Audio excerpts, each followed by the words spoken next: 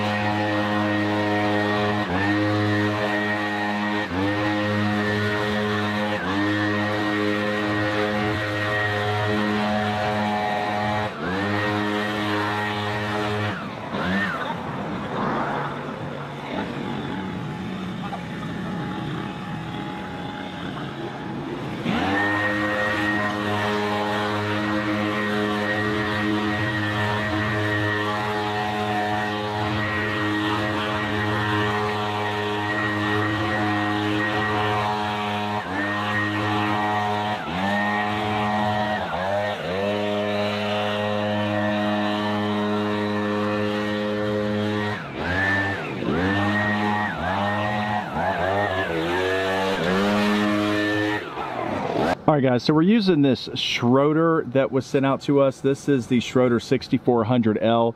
This is not by any means their top of the line or most powerful blower that they have at all, but I tell you what, I do like this blower. I think it's um, I think it's got some it's got some good power to it. I would not make this like our main fleet of blowers, you know, that we use on our condos, but if I were doing a bunch of homes, I could, y'all know I'm a Husqvarna freak, but like I like this blower right here and it's a bunch of cool stuff that comes with it. It comes with an extra wheel an extra you know um, flywheel on here.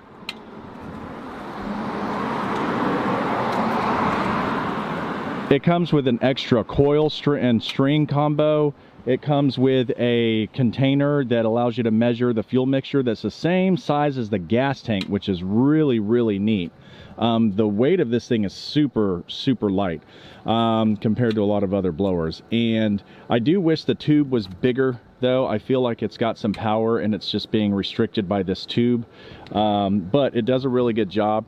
And like I said, this is a really good like cleanup blower. This is a blower I'm probably gonna keep with me when I go do little flower jobs or landscape jobs. Um, so this is probably what I'm gonna end up using that for. Um, but yeah, I like this thing.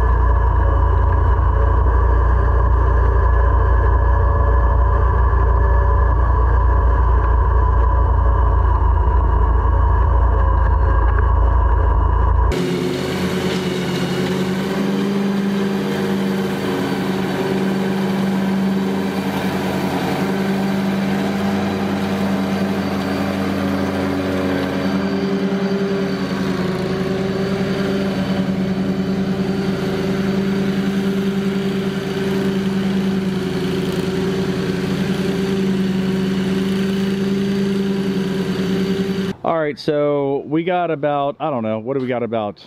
Probably 40 to 50 feet here by about seven feet wide. Um, y'all saw how thick that was, so we had to blow all that out. Um, and it created two piles. And how many, how, how, much, how many of these piles create? About two bags? Yeah. Two bags each? And um, how big are the bags? 45 gallon bags. 45 gallon bags?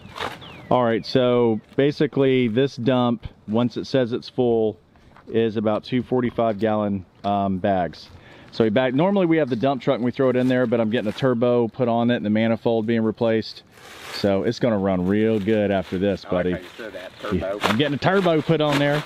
Um, so for now, we'll just throw them in the truck and we'll probably swing by and throw them in the dump truck afterward. Um, so this was really thick right here. So like I said, one pile down here, and one pile down there and uh, we're just gonna keep going. I have to get uh, all that across the street right there. So focus buddy. So I have to get that all that across the street. Um, that'll probably end up being about three or four piles right um, three or four um, you know piles right there.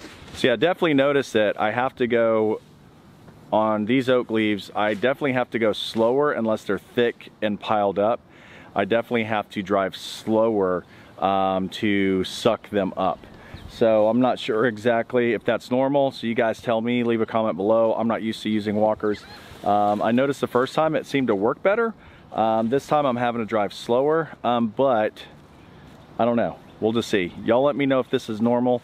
If you are supposed to be driving super, super slow like I was. Um, obviously, the slower you go, even when you cut, when you do anything, it's better. Um, but I'm just not exactly sure what doesn't work and what does work until I try it. All right.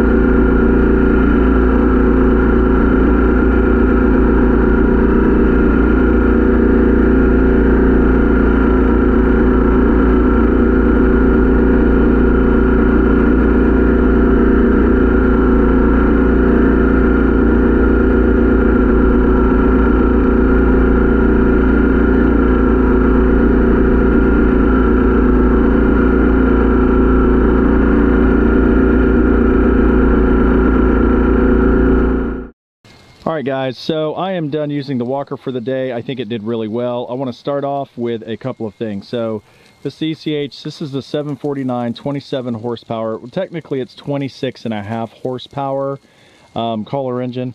One thing I will say is the look of the engine with the exhaust and everything on the Kohler, um, uh, on the uh, Walker, I'll tell you, man, just reminds me of like a jet for some reason. I love it, or like a freaking transformer. This thing looks wise like the way it's but i mean it is like it is it is tool like this thing is just sweet looking the way that it's laid out. I will give it that. It's it's pretty pimp. So let me throw this back down and uh, let me put the dump back down. So let's go over some things i do not like about this and then we'll go over the things that i do like about it. So what i don't like about the walker in general and don't shoot me is I'm just not into the ergonomics as much as I am with other mowers. So I can't help it. Emergency brake is off. Um, I would rather be on a sit down mower or a stander than using a walker all day, but there are a lot of guys that just love it.